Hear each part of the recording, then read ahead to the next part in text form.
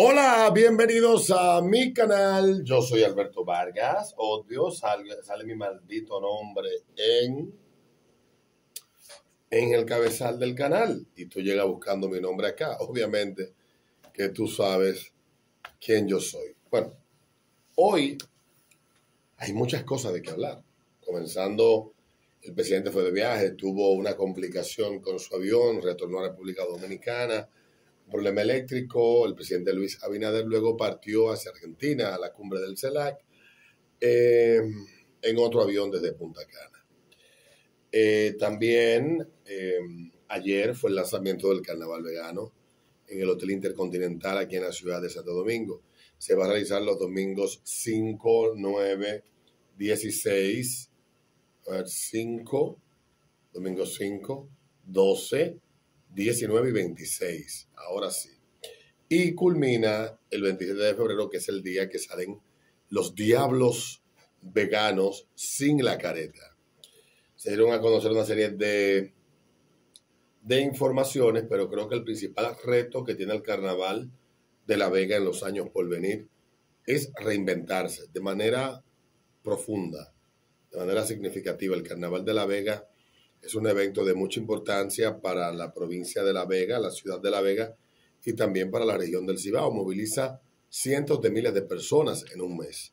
Y bueno, en los últimos años pues ha entrado como una especie de stall, de estancamiento eh, y sería este reinicio luego de dos años de haberse suspendido las actividades carnavalescas en la ciudad de La Vega por el encierro sin sentido, sería bueno que se planteen a los próximos 5 o 10 años una reinvención o una readecuación a futuro, pensando en los próximos 20 años, porque el Carnaval de La Vega se convirtió en un gran evento a mediados de los 90, era un evento importante en La Vega desde hacía años ya, pero comenzó a ser atractivo para visitantes de otros puntos del país, principalmente la capital, ya a mediados de los 90, a principios de los 2000, ya era un evento consumado y en el año 2010 empezó, 2011, eh, a una transformación profunda y significativa que incluyó dentro de los atractivos artistas de renombre internacional. Pero más que los artistas, el carnaval son los diablos, es la gente de La Vega, son las cuevas, los artesanos, y todo eso que son, eh, son cuestiones que el carnaval ha preservado y ha sabido cuidar. Pero a futuro también hay que saber ir eh, remando en la dirección correcta para que las generaciones futuras les siga resultando atractivo visitar el carnaval de La Vega. Creo que un gran aprendizaje se puede obtener de eh, eventos como la, las fiestas de la calle San Sebastián en Puerto Rico, que yo he ido en dos ocasiones y tienen 53 años y puedo decir que es un evento impresionante. Fue en el año 2020 la última vez que fui y si Dios me lo permite, pues tenía planes de ir este año, pero el viaje se suspendió. Si Dios me lo permite, el año que viene estaremos en Puerto Rico. Así que suerte a los veganos y les deseamos lo mejor al carnaval vegano y ojalá que a futuro puedan eh, seguir reinventándose y seguir siendo una opción en febrero para todos los que le han visitado y para los que le deseen visitar. Ayer el presidente de la República movió la mata. Dentro de los cambios que hizo el presidente de la República en el decreto que emitió en el día de ayer, el presidente emitió el decreto número 1523. Una de las de los artículos, el artículo 6, designó a Digna Reynoso, que es la esposa de Pacheco, directora general de la Dirección General de Pasaportes. Y Néstor Julio Cruz Pichardo quedó designado cónsul general de la República Dominicana en Panamá. ¿Quién era Nelson Julio Cruz Pichardo, bueno, el saliente director, el responsable del deterioro de la dirección de pasaporte. Y esto lo sabía el presidente y lo sabía todo el gobierno, que esa institución estaba entrando en franco deterioro. Los que hemos sacado pasaporte en los últimos 15 años, yo saqué pasaporte por primera vez en el año 2007, me tocó ir a la oficina que está ubicada en la San Vicente de Paul con Costa Rica en el segundo nivel. Ahí era una oficina modesta, pequeña para la época, pero luego más adelante en el gobierno de Danilo Medina se mudaron esas oficinas hacia el centro comercial eh, Megacentro. Yo renové en el año 2013. Por una cuestión tuve que, eh, que renovar de emergencia y renové VIP. La regla cuando renové establecía que si llegabas después del mediodía, el pasaporte se te entregaba el día siguiente. Para entregársete el mismo día, el pasaporte tenía que hacerse la renovación en, eh, antes del mediodía para poder entregar en el tiempo que estaba estipulado, que era una hora. Toda esa mecánica y dinámica que me encontré en el año 2000, 2013, eh, cuando renové seis años después, en el 2019, que renové en la oficina de pasaportes de Megacentro, era totalmente distinta. Lo que sí, el papeleo seguía siendo el mismo. Una acta de nacimiento, pasaporte anterior, copia de la visa, etc. Y tú ibas, depositabas y recibías el pasaporte. Ya no eh, dos horas antes, seguía siendo la misma regla. Llegué ese día un poco tarde, pero sí 24 horas después. O sea que al día siguiente me entregaron mi pasaporte hace apenas tres años.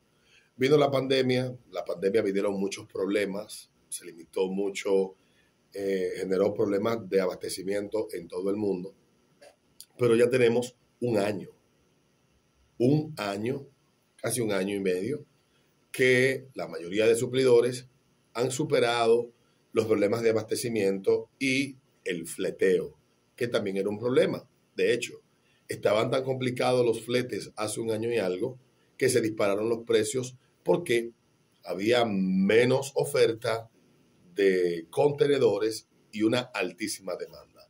Estaba la logística y la transportación en todo el mundo complicada, pero todo eso ya se resolvió. De hecho, los fletes han seguido bajando y han bajado dramáticamente los precios y esto ha permitido, bueno, de alguna manera, pues esto combinado con el tema de la inflación, pues la baja de precio de los fletes hace que las cosas no suban tanto de precio, más o menos por ahí anda la lógica, no soy economista. Eh, entonces, llega este director, es nombrado en pasaportes, ya había pasado en el gobierno de Danilo Medina una situación que provocó el estrés de esa situación el fallecimiento del el director de entonces, Monchi Rodríguez. Monchi Rodríguez había sido sometido a una serie de presiones porque se había licitado el cambio de las libretas y parece que habían personas dentro del gobierno que querían, de Danilo Medina, querían beneficiar o querían darle el beneficio o querían que se le diera el que fuera a alguien. La historia la conozco a medias, porque lamentablemente uno de los testigos está fallecido. Entonces, se licita, se cambia la libreta, se vuelve al azul y estas libretas ahora traen unos pájaros. De hecho, creo que la que me tocó a mí es una de esas libretas negras. No, el azul volvió creo que con esta gente. Estoy perdidísimo. Pero las mías son negras las dos. El asunto es que cuando llegue este gobierno deciden cambiarlo todo. Y si hay algo de lo que yo he sido crítico, es ese afán de, de querer subvertir, cambiar, transformar sin ningún tipo de propósito más que lo que estaban antes no servían. Y en la dirección de pasaporte, pues llegó el caos junto con el director que estaba. Llegó tan profundo el caos que República Dominicana ha estado viviendo en los últimos meses una situación que no vivíamos desde la década de los 90. Luis Abinader y su director de pasaporte nos llevaron a nosotros a 1994, cuando ibas al Guacalito a sacar un pasaporte y era casi una cosa... Yo recuerdo que yo conocía personas que se dedicaban a gestionar la obtención de pasaporte de lo difícil que era en los 90. Tenía un vecino que se dedicaba a eso. De esa manera se ganaba la vida, gestionando sacar pasaportes en el Guacalito, porque era un parto sacar pasaporte. Luego los gobiernos del PLD, se continuó en el gobierno de Hipólito y, y más adelante se modernizó ese departamento y sacar pasaporte no era tan traumático como lo era en los 90, pero volvimos a los 90. Y este director que es saliente, producto de su incompetencia y el desorden que sembró en la institución, este director de pasaporte llevó a la dirección de pasaporte a 1994 con la anuencia del presidente, porque él es el que nombra los funcionarios y él sabe y está enterado de lo que pasa en su gobierno. Él está al tanto de todo, él lo sabe y lo permitió. Y este canalla que tenía meses este desorden, no solamente que lleva el proceso de trámite a 1994, en las, en las oficinas de pasaporte surgieron una figura que había desaparecido, los buscones. En las oficinas, si tú ofrecías dinero, y creo que todavía si ofreces un buen dinero, puedes conseguir que te gestionen un turno rápido y puedas sacar el pasaporte hoy. Y ese caos lo sembró ese caballero, Cruz Pichardo. Lo sembró él. Las razones, no se saben. Ojalá y que las periodistas que son eh, bien activas y bien animadas de hacer investigaciones periodísticas investiguen qué fue lo que terminó desencadenando este caos.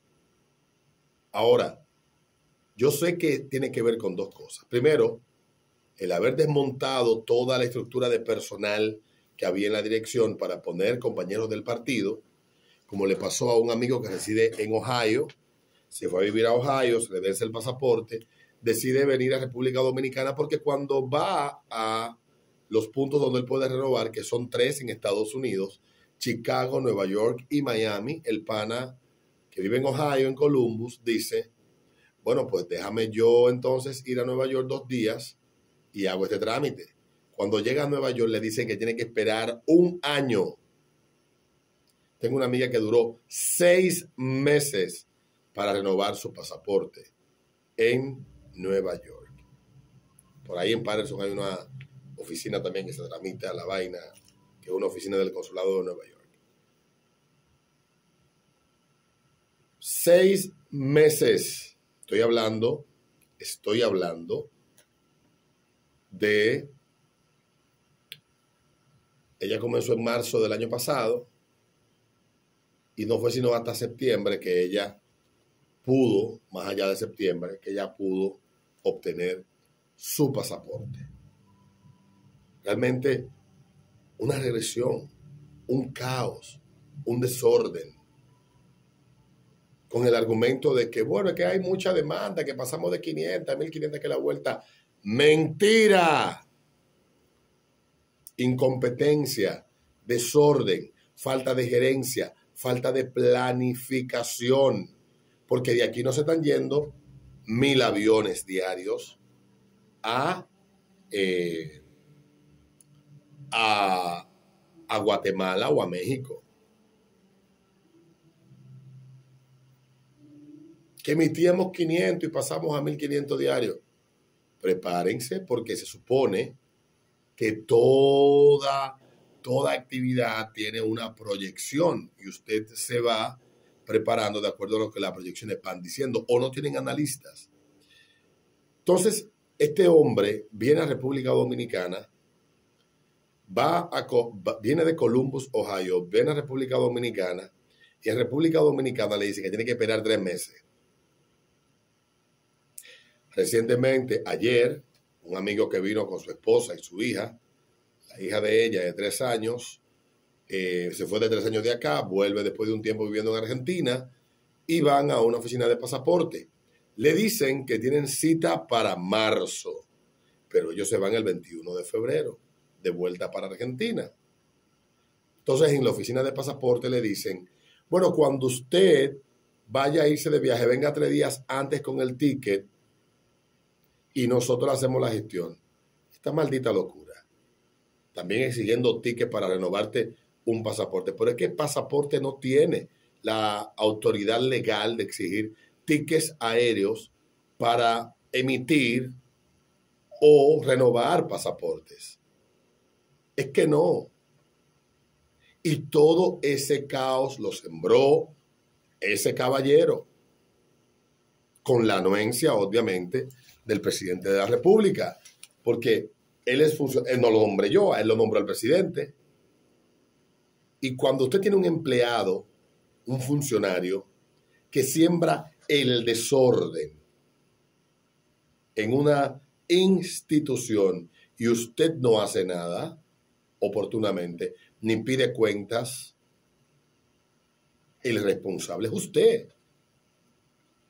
Porque fue por usted que votaron. Y está bueno eso de uno agarrar y siempre sacando de los líos a quien tiene la responsabilidad final.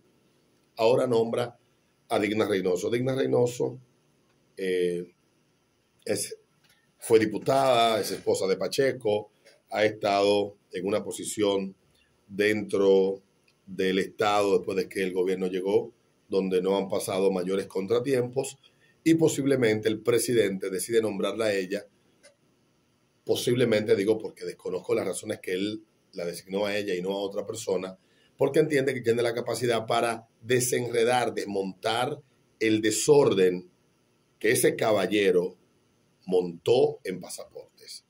El cuento de lo que pasó yo me lo sé. A mí me llamaron el pasado sábado y me hicieron el cuento de qué es lo que está pasando en pasaportes. Una persona de pasaportes. Yo no lo voy a decir porque evidentemente no tengo las evidencias para poder sustentar lo que esta persona me afirmó. Pero lo que sí debe de hacer doña Digna es desmontar todo el desorden que este caballero montó en pasaportes y volver esa institución a convertirla en lo que era. Una institución que con ciertas dificultades funcionaba, pero que era muy eficaz. Aquí no había traumas para sacar pasaporte. Aquí no había mayores traumas para usted sacar pasaporte. Pero en este gobierno, nos volvieron a nosotros a 1994 en lo que tramitación de pasaportes se refiere. Ojalá que doña Digna pueda tener éxito. Le deseamos suerte. Le rogamos que resuelva ese problema y que lo del sello sea de continuado, porque si hay un símbolo de atraso y regresión, es esa mierda. Nos vemos en un próximo video.